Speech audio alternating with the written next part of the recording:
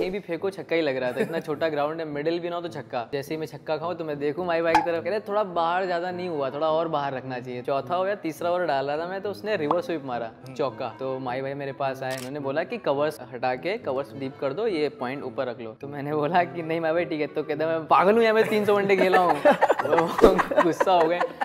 तो मैंने कहा ठीक है माई भाई तुरंत मैं मैंने फिर हाँ। उसके बाद जब मैंने फिर नॉर्मल कर दिया तो फिर आउट हो गया। यही कह रहा था मैं यही कह रहा था